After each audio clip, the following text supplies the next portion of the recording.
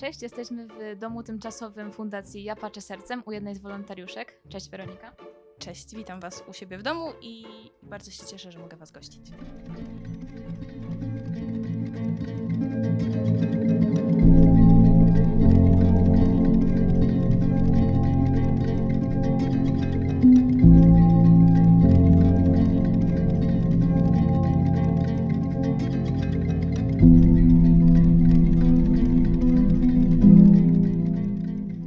E, Od jak dawna prowadzisz dom tymczasowy i skąd wziął się ten pomysł?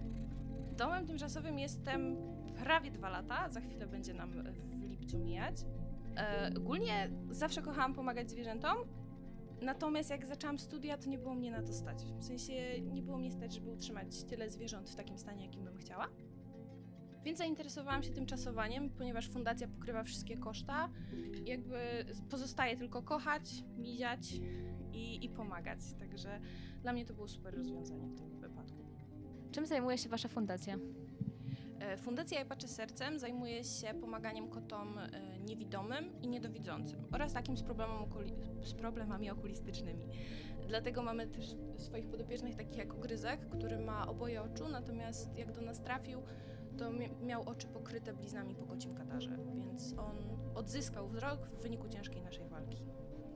Jak dużą ilością kotków opiekujesz się w tym momencie i ile jest ich najwięcej? W tym momencie mam w domu 9 kotów, 3 swoje i 6 tymczasów.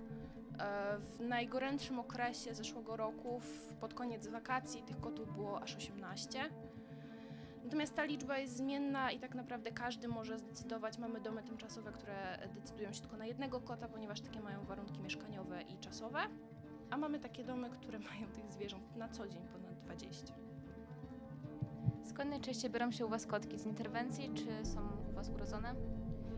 E, My stricte nie zajmujemy się interwencjami. Dostajemy zgłoszenia od ludzi z całej Polski i nie tylko, bo przyjmujemy ostatnio koty też z Ukrainy, które straciły wzrok w wyniku postrzału albo kociego kataru, ponieważ trafiły nagle na ulicę i nie były w stanie się sobą zająć.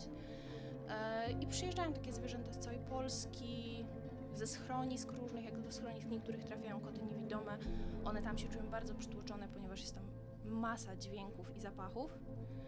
No i wtedy takie schroniska zgłaszają kota do nas, my organizujemy transport do domu tymczasowego, który ma miejsce.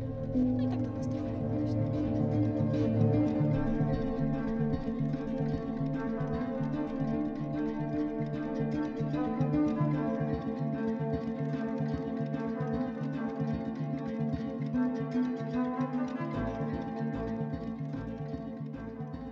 Czy jest coś, co chciałabyś przekazać innym ludziom odnośnie niewidomych kotków? Y, Żeby zdecydowanie się ich nie bali. To jest jakby największy problem, nawet y, podczas adopcji. Ludzie boją się kota całkiem niewidomego. Zazwyczaj decydują się na kota niedowidzącego albo z jednym okiem. Y, Takie koty łatwiej znajdują dom, natomiast ślepaczki i, i koty na przykład padaczkowe, które u nas się zdarzają, są przekochane, przecudowne i nie powinni się ludzie ich obawiać. I jeżeli ktoś się obawia, to zapraszamy do kontaktu z fundacją.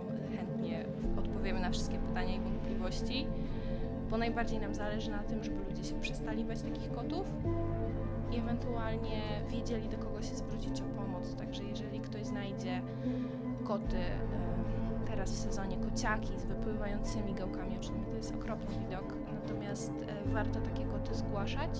Im szybciej się je zgłosi, tym szybciej zostanie udzielona pomoc i tym więcej jesteśmy w stanie zrobić. Jeżeli ktoś ma jakiś problem albo chce się czegoś dowiedzieć, to kontakt przez, przez wszystkie social media, numer telefonu, SMS, mail, gdziekolwiek się nas uda znaleźć, tam zapraszamy do kontaktu.